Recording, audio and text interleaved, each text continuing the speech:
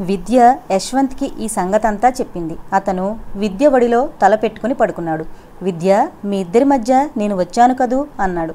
దయించి అలా అనకు. అతని నోరు మూస్తూ అంది విద్య. వసంత్ నీకు ఉత్తరం రాస్తాడు. అతను నీకు నిజమైన స్నేహితుడు అయితే అంగీకారం తెలుపుతూ రాస్తాడు అన్నాడు. నాలుగు రోజుల తర్వాత వసంత దగ్గర నుంచి నిజంగానే ఉత్తరం వచ్చింది. అందులో ఇలా ఉంది. విద్య నువ్వు చాలా అదృష్టవంతురాలివి. ఎందుకంటే నీకు జీవితంలో అందరూ నిన్ను ఇష్టపడి నీకు దూరం కాని వాళ్ళే దొరుకుతారు. యశ్వంత్ నీకు భర్తగా కావాలి. అతను దొరికాడు. నేను స్నేహితుడిగా నీకు ఉండాలి. నిన్ను తిరస్కరించలేని బలహీనత ఏదో నా మనసులో ప్రవేశించింది. నీ ఉత్తరం శాంతం చదివాను. నీ మనసు అద్దంలో చూసినట్టుగా అర్థమైంది. నువ్వు చెప్పిన తర్కం ఉందే అది తిరుగులేనిది. ఏ మనిషి అయినా ఒకరిని జీవితంలో పొందాలి అంటే అంత బలీయమైన నమ్మకం ఇష్టం ఏర్పడాలి. ఒక్క మాటలో చెప్పాలంటే నీకంటే ఆ యశ్వంత్ అదృష్టవంతుడు.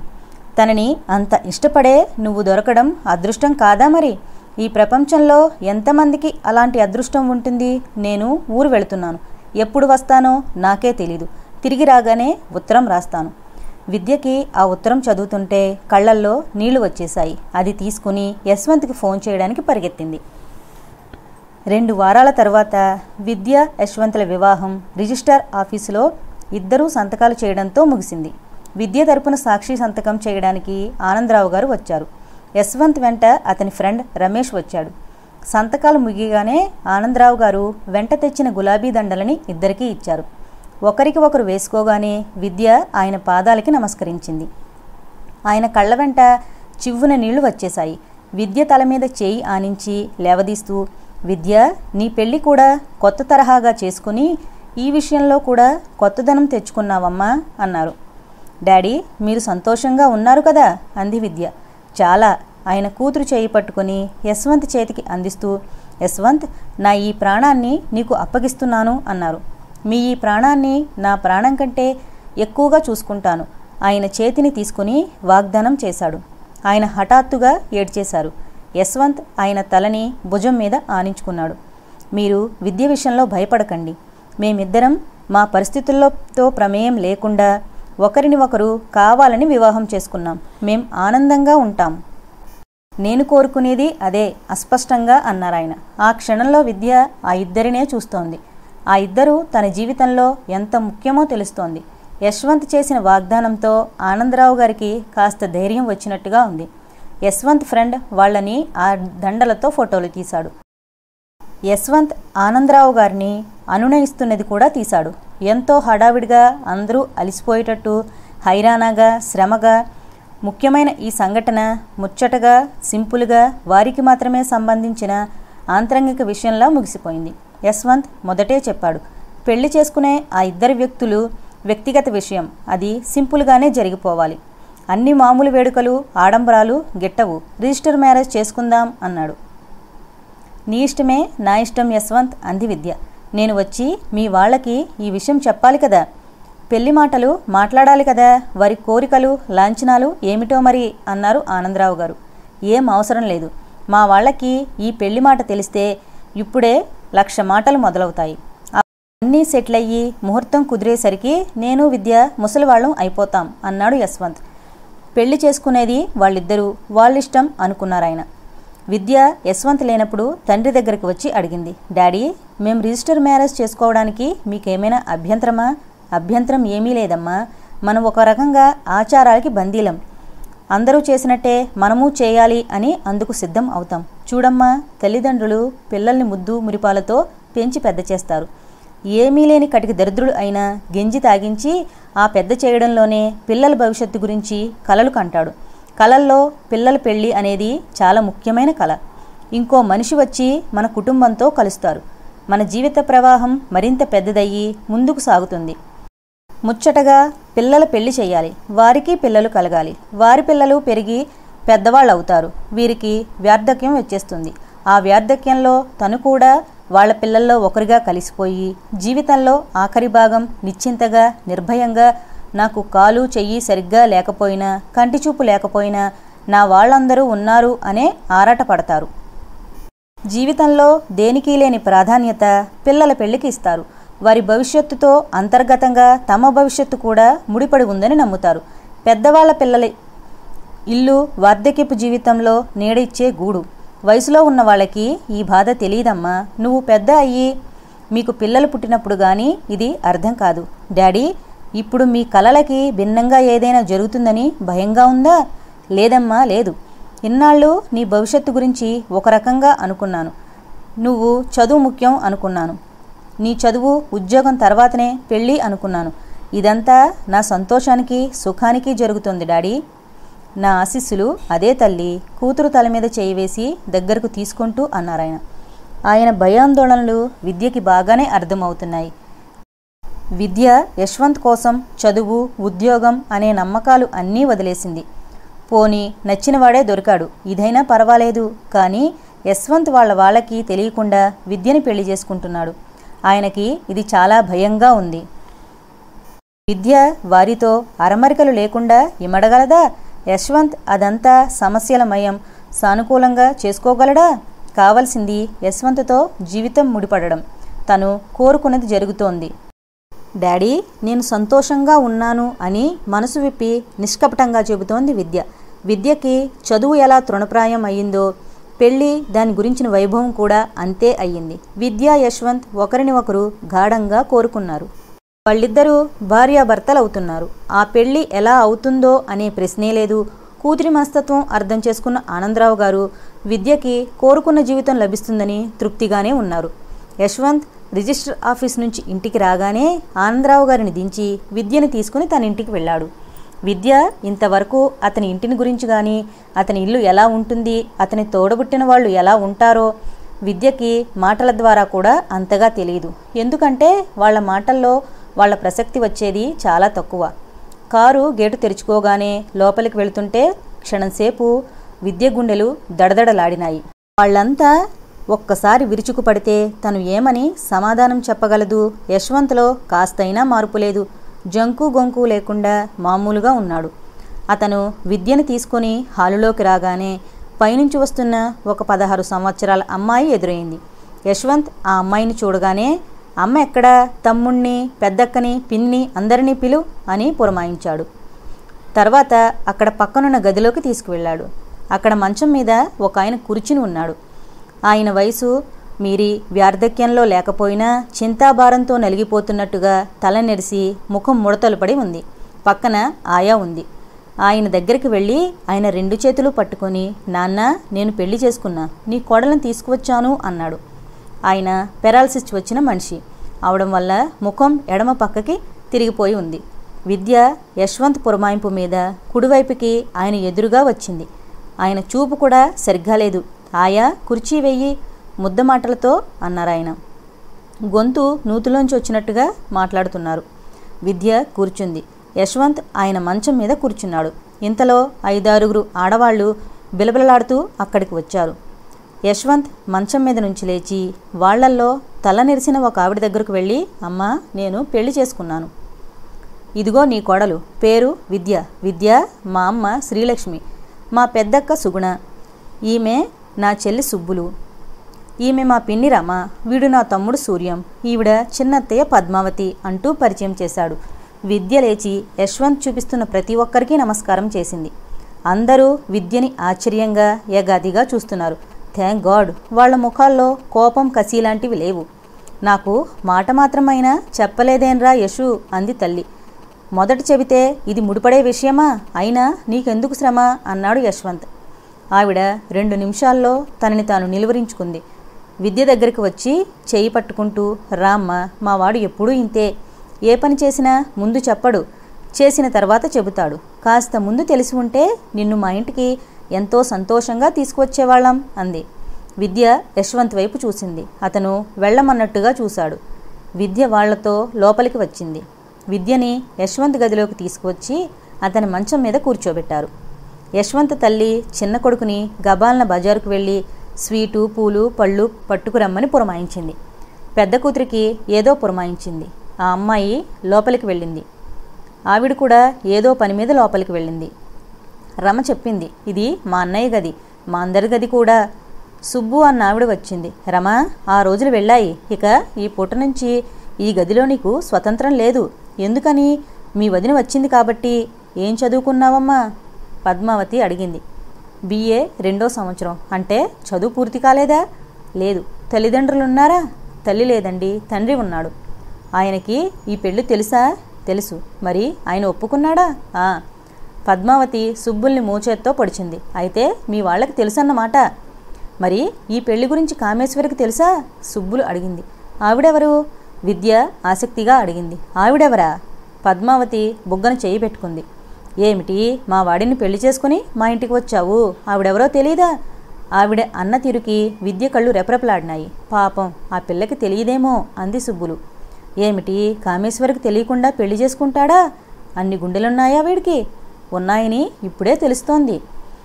ఇంతలో శ్రీలక్ష్మి అక్కడికి వచ్చింది. ఆవిడ చేతిలో చీర జాకెట్ స్వీట్స్ పళ్ళు పూలు పెట్టిన పళ్ళెం ఉంది. విద్యకి బొట్టు పెట్టి ఇస్తూ మా వాడు కాస్త ముందు చెప్పినా బాగుండేదమ్మా. వాడెప్పుడూ ఇంతే. ఇంట్లో ఉన్నదేదో ఇస్తున్నాను అంది. విన్నావా? కామేశ్వరికి ఈ పెళ్ళి విషయం తెలీదు అంది పద్మావతి. శ్రీలక్ష్మి ముఖం ఒక్క నిమిషం వెలవెలపోయింది. ఏమిటో? వాడిష్టం. వాడు ఎవరికి ఏది చెప్పడు అంది ఆవిడ. యశ్వంత్ అక్కడికి వచ్చాడు. విద్య వెళదామా? అడిగాడు. విద్య వెంటనే లేచింది. అదేమిటి? వెళ్ళడం ఏమిటి? భోజనాలు చేద్దురుగాని. పెళ్ళి చెప్పా పెట్టకుండా చేసుకుంటే చేసుకున్నావు. సత్యనారాయణ వ్రతం చేయిస్తాను. బ్రాహ్మణుని తీసుకురమ్మని తమ్ముని పంపాను. అందరినీ పిలిచి పార్టీ అయినా ఇవ్వద్దు. అమ్మ అవన్నీ ఏవీ చేయడం లేదు. మేమసలు ఊరిలో ఉండడం లేదు. సాయంత్రం బెంగళూరు వెళుతున్నాం. పోనీ భోజనాలు ఇక్కడ చెయ్యండి. విద్య వాళ్ళ ఇంట్లో చేస్తాం. అక్కడికి వస్తామని చెప్పాం. ఆవిడ కళ్ళల్లో గిర్రున నీళ్ళు తిరిగాయి. అతను తల్లి దగ్గరికి వచ్చి తల్లి తల మీద చేయి వేసి పిచ్చి అమ్మ మేము తిరిగి వస్తాం. అప్పుడు నీ దగ్గరే ఉంటాం. సరేనా? ఇప్పటికి వదిలే మంచి అమ్మ కదూ? సరే వెళ్ళిరా. ఏమిటో నా జాతకం. నిన్ను కన్నాను పెంచలేకపోయాను. నాది చాలా పాపిష్టి జన్మరా. అదిగో మళ్ళీ మొదలెట్టావా? అయితే నేను అసలు ఇంటికే రాను అన్నాడు. సరేరా నీ ఇష్టం. అంతా నీ ఇష్టం అంది ఆవిడ వెంటనే. విద్యకి వాళ్ళిద్దరి సంభాషణ ఆసక్తిగా అనిపించింది. విద్య అందరికీ చెప్పి యశ్వంత్తో వచ్చేసింది. అతనితో వస్తుంటే అత్తవారింటికి వెళ్ళి వచ్చినట్టుగా ఉంది. ఏమన్నారు వాళ్ళు? ఇంటికి వస్తుండగా తోవలో అడిగారు. కామేశ్వరికి తెలుసా అని అడిగారు. నువ్వేమన్నావు? ఆవిడ ఎవరు అని అడిగాను. యశ్వంత్ ముఖం పైకెత్తి ఫక్కున నవ్వాడు. తర్వాత అతనే చెప్పాడు. మా పెంపుడు తల్లి కామేశ్వరి. నేను వీళ్ళతో చెప్పకుండా పెళ్ళి చేసుకున్నా ఎందుకు ఊరుకున్నారో తెలుసా? మా మమ్మీకి తెలియకుండా ఆవిడ పెత్తనం లేకుండా పెళ్ళి చేసుకున్నానని సంతోషం. విద్య ఈ కుటుంబం ఒక పెద్ద రాజకీయం అనుకో అన్నాడు. ఇంతలో విద్య ఇల్లు రానే వచ్చింది. ఇల్లు తాళం వేసి ఉంది. విద్య కారు దిగి వస్తుంటే ఇంతలో పక్కింటి పిన్నిగారు వచ్చి విద్య మీ నాన్నగారు ఎవరో వస్తే వెళ్ళారు. ఈ తాళం చెవి నీకు ఇమ్మన్నారు అంటూ ఇచ్చింది.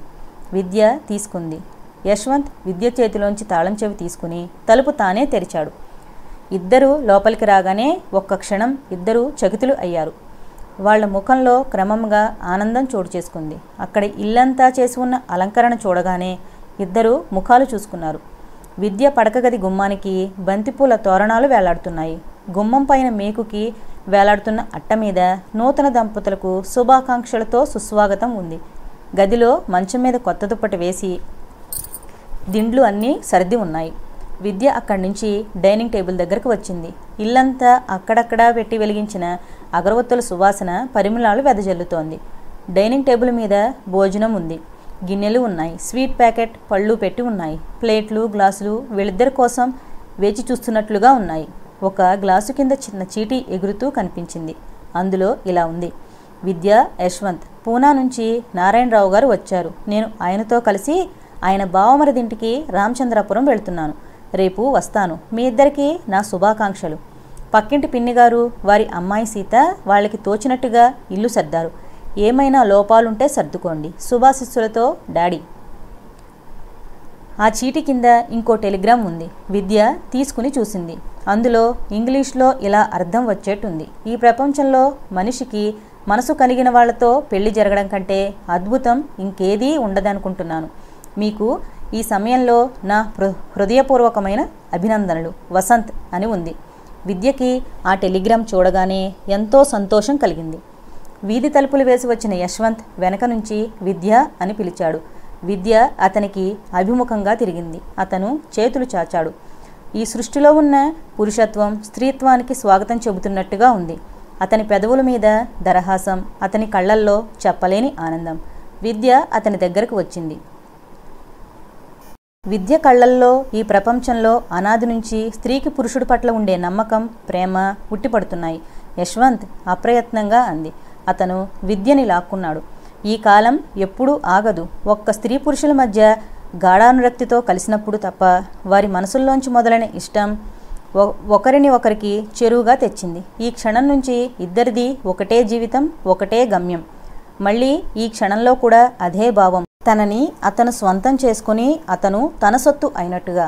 పది రోజుల తర్వాత త్రివేంద్రంలో ఒక్క హోటల్ గదిలో రాత్రివేళ నిశ్శబ్దం ప్రపంచం అంతా పరుచుకున్న సమయం అది. ఎక్కడి నుంచో గడియారం మూడు గంటలు కొట్టడం వినిపించింది. చెట్ల మీద పిట్ట ఒకటి నిద్రలో లేచి రెక్కలు టపటపాలాడించి మళ్ళీ పడుకుంది. సృష్టి అంతా విశ్రాంతి తీసుకున్నట్టుగా ఉంది. ఆ సమయంలో గదిలో మంచం మీద విద్య యశ్వంత్ ఛాతి మీద సొమ్మసిల్లినట్టుగా తల ఆనించుకుని ఉంది. విద్యకి అర్ధరాత్రిలో ఉన్న ఈ నిశ్శబ్దం కోటి సుమధుర సంగీతాలు వినిపిస్తున్నట్లుగా ఉంది. యశ్వంత్ రెండు చేతులతో విద్య చెవులపై నుంచి జుట్టులోకి వేళ్ళతో రాస్తూ విద్య నువ్వంటే నాకెందుకో ఇంత ఇష్టమైందో తెలుసా? అన్నాడు. ఎందుకట? విద్య కంఠం పారవస్యపు మబ్బు మీద సుఖంగా సైనిస్తున్నట్టు మత్తుగా ఉంది. అతను మృదు గంభీర స్వరంతో మంద్రస్థాయిలో చెప్పాడు. నువ్వు నా గురించి ఏమీ తెలుసుకోలేదు. నా పరిస్థితులేమిటో అడగలేదు. నా వాళ్ళ గురించి తెలుసుకోవడానికి ఆరాటపడలేదు. పెళ్ళి కోసం షరతులేమీ పెట్టలేదు. కేవలం నేను ఒక్కడినే నీకు ముఖ్యం అన్నట్టుగా ఒప్పుకున్నావు. ఇది నా జన్మలో మరిచిపోలేని అపూర్వమైన విషయం. అతని కంఠం గాదికికం అయింది విద్య నేను ఎలాంటి అమ్మాయి అని కావాలని కోరుకున్నానో సరిగ్గా అలాంటి అమ్మాయే నాకు లభించింది. నీకంటే నేనే చాలా అదృష్టవంతుణ్ణేమో విద్య వింటోంది. పెళ్ళైన మొదటి రాత్రి నుండే విద్య తెలిసిన కాలం ఏదో ఆగిపోయినట్లే ఉంది. యశ్వంత్ కౌగిలిలో బందీ అయిన ఆ క్షణం నుంచి తనకి వేరే జీవితం ప్రారంభం అయింది. పెళ్ళి అంటే ఎంత అద్వితీయమైన అనుభవం! ఈ పది రోజుల నుంచి ఇద్దరు దక్షిణ దేశం అంతా తిరుగుతున్నారు. ఒక ప్రోగ్రాం లేదు ఒక నియమం లేదు. మైసూరులో ఒక రోజు ఉందామని నాలుగు రోజులు ఉండిపోయారు. ఇద్దరిది ఒకే లోకం. ఈ లోకంలో సంతోషపు దివ్య హర్యాలని నిర్మించుకున్నారు. వారి భావి దాంపత్య జీవితానికి సౌధానికి పునాదులు ఏర్పడుతున్నాయి. తొలి ఉషస్సులో మంచు బిందువులు వారిని చూసి కళకళలాడేవి. సూర్యాస్తమయంలో అందం వారిని ఆవహించేది. ఎక్కడైనా ఎత్తైన చోట కూర్చుని ఒకరి చేయిరు ఒకరు పట్టుకొని సూర్యాస్తమయం చూడడం ఇద్దరికీ ఆనందంగా ఉండేది. రాత్రివేళ వెన్నెల్లో యశ్వంత్ గది కిటికీ దగ్గరికి మంచం లాగి వెన్నెల దాని మీద పడుతుంటే విద్యని అక్కడ కూర్చోమని ఒడిలో తల పెట్టుకుని పడుకునేవాడు. విద్యకి జీవితం అంతా సుందర స్వప్నంలా అనిపించసాగింది. తండ్రికి ప్రతి పూట ఊరి నుంచి టెలిగ్రామ్ పంపించేది. ఒక్కోసారి ఇద్దరు ఎన్నో కబుర్లు చెప్పుకునేవాళ్ళు. ఒక్కోసారి మాటలు అవసరం లేనట్టుగా ఒకరి దగ్గరగా ఒకరు ఉండిపోయేవారు. ఒకరి సాన్నిహిత్యం మరొకరికి వరంగా ఉండేది. అతనితో కబుర్లు చెబుతూనో అతను చెప్పిన మాటలు వింటూనో విద్యకి అతని గుండెల మీద ముఖం వానించి ఒక్కొక్కసారి అలాగే నిద్రపోయేది. అతను కదిలితే ఆమెకి ఎక్కడ మెలకు వస్తుందో అన్నట్టు అలాగే ఉండిపోయేవాడు. అతను దాదాపు రోజు ఉదయం లేవగానే ఇంటికి ఫోన్ బుక్ చేస్తాడు. ఈరోజు కూడా అలాగే చేశాడు. అవతల నుంచి ఫోన్ రాగానే మాట్లాడాడు. తండ్రి తల్లి క్షేమం వరుసగా అడిగాడు. ఏమిటి? అన్నాడు. అతని ముఖం ఆదుర్దాగా అయ్యింది. కనుబొమ్మలు ముడిపడినాయి. బ్రేక్ఫాస్ట్ ఆర్డర్ చేసి అతని కోసం ఎదురుచూస్తున్న విద్య అతని కంఠంలో ఆదుర్దాకి తిరిగి చూసింది. నేను ఈరోజే బయలుదేరుతున్నానని చెప్పు. నేను వచ్చేస్తున్నాను కదా ఉంటాను. అతను ఫోన్ పెట్టేశాడు. ఫోన్ పెట్టిన అతను ఎప్పటిలా విద్య వైపు వెంటనే తిరగలేదు. ఒక్క క్షణం పెదవి నములుతూ అలాగే నిలిచిపోయాడు. ఏమైంది? విద్య అతని దగ్గరగా వచ్చి అడిగింది. స్టేట్స్ నుంచి మమ్మీ వచ్చిందట. కామేశ్వరి గారా? అవును. విద్య అతని ముఖం తదేకంగా చూసింది. మనం ఈ పూట వెళ్ళిపోతున్నాం. అతను విద్య నడుం చుట్టూ చేతులు పెనవేస్తూ అన్నాడు. ఆ సాయంత్రం వాళ్ళిద్దరూ ప్లేన్లో పక్కపక్కన కూర్చుని చెన్నై వచ్చేస్తున్నారు. విద్య దూరంగా కనిపిస్తున్న మబ్బుల పర్వతాల్ని చిన్నపిల్లల సంబరంగా చూస్తోంది. యశ్వంత్ ముఖం సీరియస్గా ఏదో ఆలోచిస్తున్నట్టుగా పరధ్యానంగా ఉంది. విద్య తల తిప్పి అతని వైపు చూసింది. అతను ఇటు చూడలేదు. విద్య అతని చేతి మీద తట్టగానే అతని ముఖంలో సీరియస్నెస్ మాయమైంది. ఏమిటి? అన్నాడు. ఏం లేదు. విద్య అతని చేతి కైదండని రెండు చేతులతో పట్టుకొని అతని భుజం మీద తల ఆనించింది. ఆ క్షణంలో ఆమె సంతృప్తి అనే సౌరభంలో తడిసిన రోజాలా ఉంది. విద్య ముఖంలో ఎనలేని ఆనందం చెప్పలేని తృప్తి అనుభవిస్తున్న సుఖం స్పష్టంగా కనిపిస్తోంది. యశ్వంత్ ఎడమ చేయి ఎత్తి విద్య తల మీద ఆనించాడు. ఒక్క నిమిషం తలని చేతికి నొక్కుకున్నాడు. ఈ ప్రపంచంలో యుగ యుగాల నుంచి స్త్రీ పురుషునిలో ఏది కోరుకుంటుందో అది విద్యకి లభించినట్టుగా ఉంది.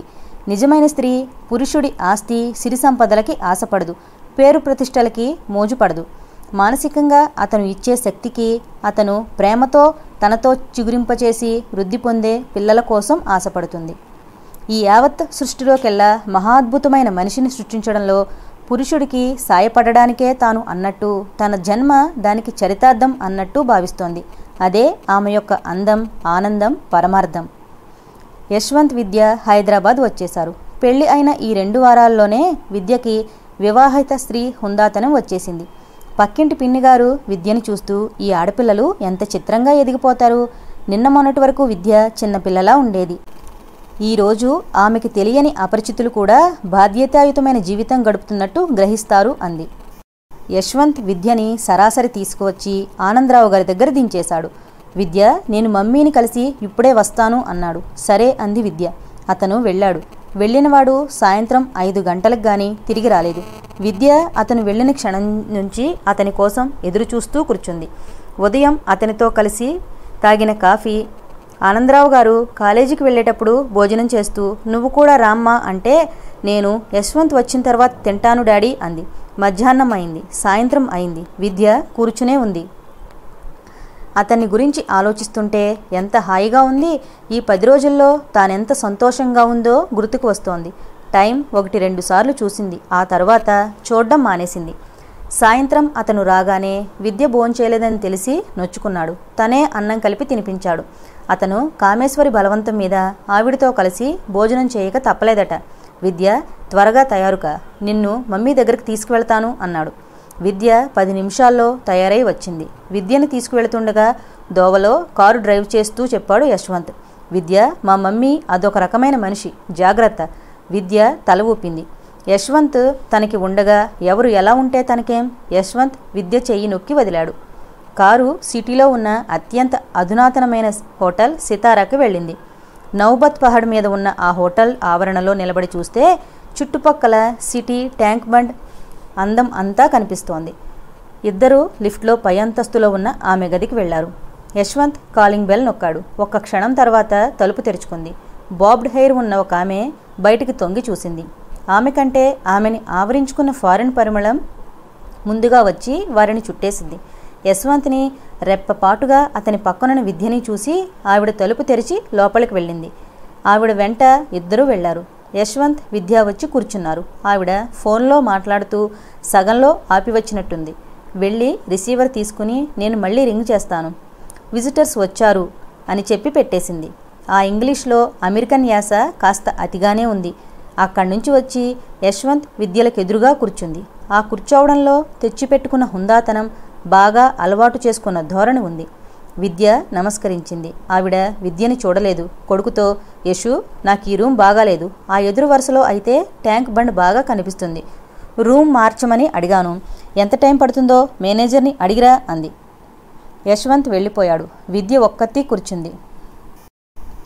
ఆవిడ లేచి వెళ్ళి కర్టెన్స్ లాగింది పుస్తకాలు సర్దింది. సూట్ కేసులో ఏమిటో కాగితాల కోసం చూసింది. తర్వాత వచ్చి విద్యకెదురుగా సోఫా పక్కన నిలబడి నడుం మీద చేయి ఆనించుకుని నీ పేరేమిటి అంది. ఆ కంఠంలో ఇంత క్రితం మా వాడు చెప్పింది నేను సరిగ్గా వినలేదు అనే ధోరణి ఉంది.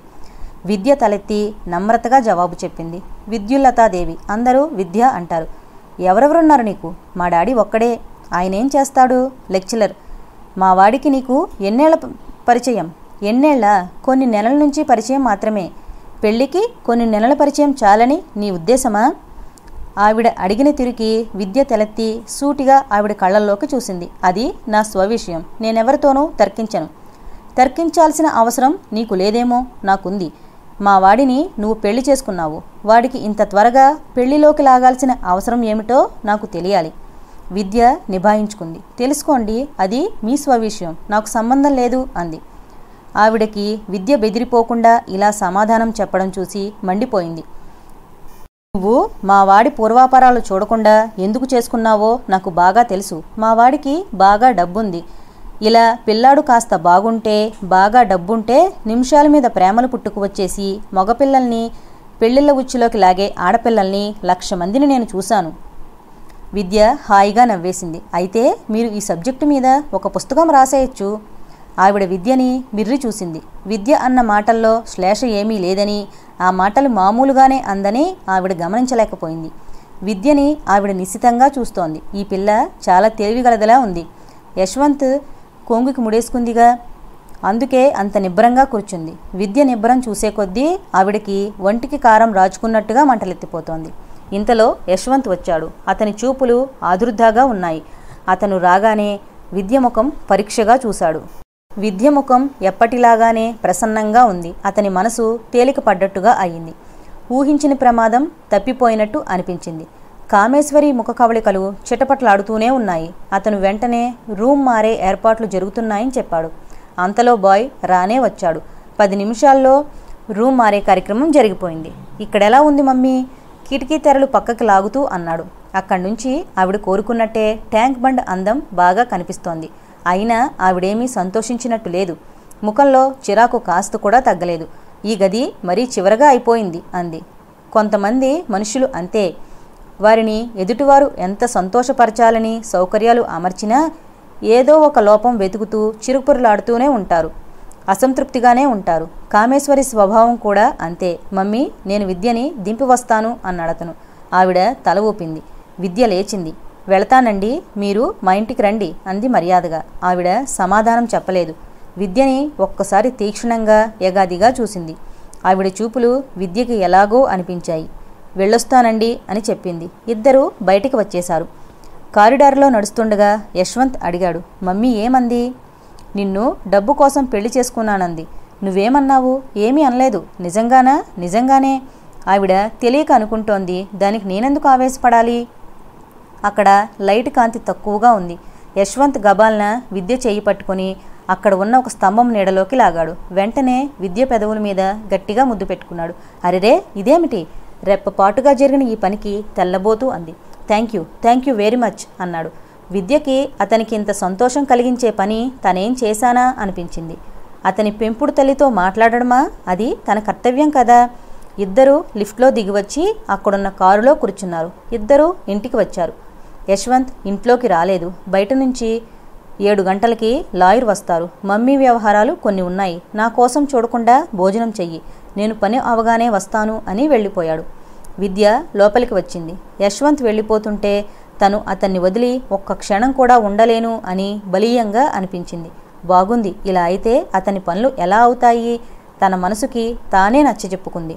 ఇంట్లోకి రాగానే ఆనందరావు గారు యశ్వంత్ ఏడమ్మా? అని అడిగాడు. పనుందట డాడీ తర్వాత వస్తానని వెళ్ళాడు అంది. విద్య గదిలోకి వెళ్ళి బట్టలు మార్చుకుని వచ్చింది. ఆనందరావు గారు అన్నారు ఇది విన్నావా తల్లి? ఏమిటి డాడీ? వసంత్ ఈ ఊరిలోనే ఉన్నాడట. వాళ్ళ ఫ్రెండ్ ప్రభాకర్ బజార్లో కనిపించి వసంత్కి ఒంట్లో బాగాలేదని చెప్పాడు. బాగా జ్వరం వస్తుంది అంటేను వెళ్ళి చూసి వచ్చాను. ఎంత చిక్కిపోయాడనుకున్నావు? అస్థిపంజరంలా ఉన్నాడు. నేను గుర్తుపట్టలేకపోయానంటే నమ్ము నీ గురించి అడిగాడు. నువ్వు ఈరోజే ఊరు నుంచి వచ్చావని చెప్పాను.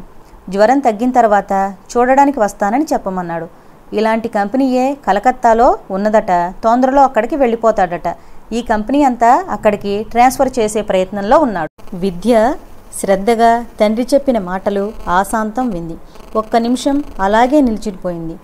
వసంత్ సుస్థి అతను ఈ ఊరు నుంచి వెళ్ళిపోవాలని అనుకోవడం ఆ పాటలు వినగానే మనసంతా ఎలాగో అనిపించింది. తను ఎంతో సంతోషంగా ఉంది. అతను ఇంకా బాధపడుతున్నాడా? విద్య తండ్రి దగ్గరకు వచ్చింది. డాడీ వెళ్ళి వసంత్ని చూసి వద్దామా? ఇప్పుడా? ఏం? టైం ఏడు గంటలు కూడా కాలేదు అంది. పద ఆయనకి ఎంతో సంతోషం కలిగింది. ఇద్దరూ బయలుదేరి వెళ్ళారు ఇల్లు అశోక్ నగర్లో మేడ మీద ఉంది. ఆనందరావు గారు కాలింగ్ బెల్ నొక్కగానే ఒక అతను వచ్చాడు. మీరా? రండి అన్నాడు. కూతురికి అతనే ప్రభాకర్ అని చెప్పారు ఆనందరావు గారు. ఇద్దరు లోపలికి వెళ్ళారు. ఇల్లంతా బ్యాచిలర్స్ క్వార్టర్స్లా ఎక్కడ పడితే అక్కడ లుంగీలు తువాళ్ళు పుస్తకాలు పడేసి ఆడగాలి ఆ చుట్టుపక్కన లేనట్టుగా ఉంది. వసంత్ మంచం మీద ముసుగు పెట్టుకుని పడుకుని ఉన్నాడు. నీకోసం ఎవరో వచ్చారా? అన్నాడు ప్రభాకర్. ఎవరు? నేనిప్పుడు మాట్లాడలేను. వెళ్ళమని చెప్పు. ఆ కంఠం ఎంతో నీరసంగా ఉంది. వసంత్ ఆనందరావు గారు పిలిచారు. వసంత్ ఆయన గొంతు వినగానే ముసుగు తీశాడు. ఎవరు? అనబోతున్న అతను ఎదురుగా నిలబడిన విద్యను చూసి ఆశ్చర్యపోయాడు. తను చూస్తున్నది కళ నిజమా అన్నట్లుగా ఉంది అతని ముఖం. నువ్వా? అతను లేచి కూర్చున్నాడు. విద్య అతన్నే చూస్తోంది. అతను అస్థిపంజరంలా ఉన్నాడు. చొక్కా వదులయ్యి వేలాడుతోంది. గెడ్డం మాసి ఉంది. చెంపలు లోతుకుపోయాయి కళ్ళు లోపలికి ఎక్కడో ఉన్నట్టున్నాయి. ఇదేం సుస్థి? ఇదేం అవతారం? విద్య విస్తుపోయింది. విద్య బాగున్నావా? అడిగాడు. అతను కూర్చోవడానికి ఓపిక లేనట్టున్నాడు. విద్య కళ్ళల్లోకి నీళ్ళు వచ్చాయి. మామూలు జ్వరం ఇంతగా మనిషిని నీరసపరుస్తుందా? ఆ జ్వరం వెనక ఏమైనా ఉందా? విద్య కూర్చుంది. జ్వరం ఎప్పటినుంచి? విద్య అడిగింది. అసలు ఈ ఊరు రావడమే జ్వరంతో వచ్చాడండి. మొదట డాక్టర్ దగ్గరికి వెళ్ళమంటే ససేమీరా వినలేదు. నాకేం కాదులే అంటూ ఒకటే మొండిపట్టుదల ఒకరోజు ఒళ్ళు చల్లబడేసరికి నాకు భయం వేసి డాక్టర్ని నేనే ఇంటికి తీసుకొచ్చాను. ఆయన ఇంజెక్షన్ ఇచ్చారు. కాస్త తేరుకున్నాడు. మందులు వాడమని రాశారు. తీసుకొచ్చాను. అవిగో అక్కడే ఉన్నాయి అంటూ డ్రాయర్ మీద చూపించాడు. వాళ్ళ అమ్మకి నాన్నకి టెలిగ్రామ్ ఇవ్వలేదా? ఇవ్వవద్దని ఒట్టు వేయించుకున్నాడు. ఈ మనిషిని ఇలా వదిలి ఎక్కడికైనా వెళ్ళాలన్నా నాకు భయం వేస్తోంది అన్నాడు. అబ్బా వాళ్ళు రాక రాక వస్తే ఏమిట్రా నీ ఫిర్యాదులు? నువ్వు అవతలకు వెళ్ళు. వసంత్ విసుక్కున్నాడు. ఇంటికి వెళదాం పద అంది విద్య. ఏ ఇంటికి? అతను అయోమయంగా చూశాడు. ఏ ఇంటికా? నిష్ఠూరంగా చూసింది. వసంత్ ఇంటికి వెళదాం పద అన్నారు ఆనందరావు గారు. అతను మాట్లాడలేదు. విద్య లేచి అతని బట్టలు సర్దసాగింది. విద్య వద్దు నేను తర్వాత వస్తానుగా. అప్పటికే కన్నీళ్ళని బలవంతంగా నిగ్రహించుకుంటున్న విద్య చర్రున అతని వైపు చూసింది. నువ్వు నాకు రాసిన ఉత్తరాలు ఇచ్చిన టెలిగ్రాములు అన్నీ అబద్ధమా? నన్ను మోసం చేయడానికా? లేదు లేదు అలా అనుకు. అతను చేతుల్లో మొహం దించుకున్నాడు. విద్య అతని దగ్గరగా వచ్చింది. వసంత్ నువ్వు నన్ను మోసం చేయలేదు కదా? నిజం చెప్పు. లేదు విద్య మరి ఇంటికి వెళదాంలే నేను వస్తానులే ఎప్పుడు? రేపు వస్తాను. ఇప్పుడు అభ్యంతరం ఏమిటి? వస్తానని అన్నానుగా. వస్తాను. బలవంతం చేయవద్దు. దయించి కూర్చో. కబుర్లు చెప్పు. నాతో వస్తే జ్వరం తగ్గే వరకు పక్కన కూర్చుని కబుర్లు చెబుతాను. విద్య ప్లీజ్. ఇదంతా ఏమిటో చాలా సడన్గా ఉంది. నాకేమిటోగా ఉంది? ఏమిటి వసంత్? మనిద్దరం ఇలా మాట్లాడుకోగలమా అనిపించింది. కూర్చో నన్ను కంగారు పెట్టకు. నా మీద అలగకు. ఈ ఒక్కరోజు నేను చెప్పినట్లు విను. రేపు నువ్వు చెప్పినట్లు నేను వింటాను. విద్య కూర్చుంది. రాత్రి తొమ్మిది గంటల వరకు అతని దగ్గరే కూర్చుని కబుర్లు చెప్పింది. పార్ట్ నైన్ కంప్లీట్ అయింది. మా ఈ ప్రయత్నం మీకు నచ్చినట్లయితే లైక్ చేయండి మరియు కామెంట్స్ చేయండి. మీ కామెంట్స్ మాకు మరిన్ని మంచి నవలలు అందించే స్ఫూర్తినిస్తాయి. మరియు మా ఛానల్ని సబ్స్క్రైబ్ చేసుకోండి. అలాగే మా వీడియోస్ను మీ ఫేస్బుక్ అకౌంట్లో కూడా షేర్ చేయండి. Thank you.